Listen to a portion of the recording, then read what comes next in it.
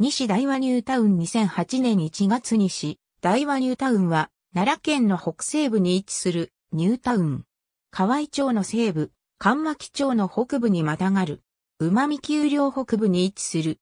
海抜50から70メートル前後である。道路鉄道路線バス西大和開発株式会社により1960年代後半より開発が進められた。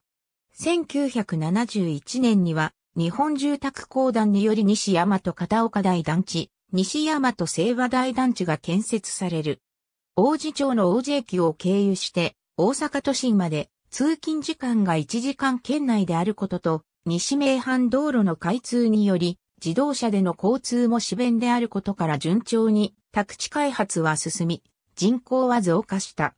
河合町、関巻町を含め周辺自治体と合併の上、市政施行する構想があったものの結果としては、頓挫した。近年は、片岡台、清和大量団地の老朽化と住民の高齢化によるニュータウン共通の課題、オールドタウン化が懸念となっている。